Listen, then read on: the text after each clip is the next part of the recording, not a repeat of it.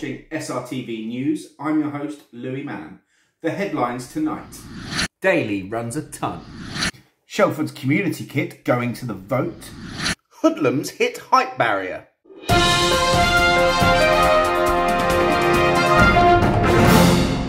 Andrew Daly ran 100 kilometres over the weekend, raising money for the Wooden Spoon charity. He raised over £2,000. In a statement, Mr Daly said, I'm knackered and my legs no longer work. Interesting stuff. A number of entries were received for the Shelford Community Kit competition. The entries will be voted on by club members and the winning entry will be realised, worn on Community Day and auctioned off all proceeds going to the NHS. Not long after being repaired, somebody has hit our height barrier once again, uh, bending it towards the club. Club officials are asking anybody with any information to come forward. Now on to local sports. Our reporter Louis Mann has more. Yeah, thanks, Louis. And of course, we're all anxiously awaiting sport that isn't something pointless like the Bundesliga.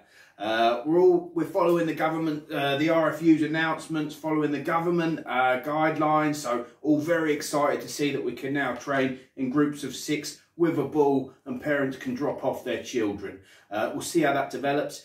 In other news, the uh, Shelford Rugby women's team have announced that coming soon will be their boot camps pending government guidelines, so we're very much looking forward to that.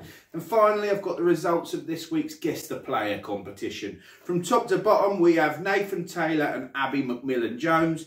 In the middle, we've got Jessica Norris and Lewis Cracknell. And at the bottom, we've got Ollie Jury and his moustache and Chloe Housden. Cheers, Louis. Back to you. Thanks for that, Louis. Interesting stuff. Uh, now on to the weather. Our weatherman, Louis Mann, has more.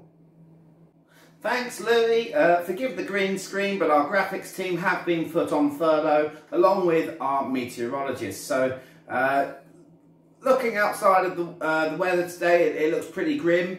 Uh, but if, if we imagine that this is kind of the Cambridge area, and in a southerly direction we have, we have the village of Shelford, well, we know the sun always shines there. Thanks for that, Louis. And now a special report on birthdays. Yes, thank you, Louis. And of course, we've got a few special birthdays coming up this week. So we just wanted to wish a very special Peacock happy birthday to Jill Clark, Alan Hills, Damon Aston, Keith Boyle, Rachel Myers, Chloe Barker, Tui, son of Solo, Dexter Med, Richard Kahn, Leslie Sonnen, Felix Chater and Alistair Christie.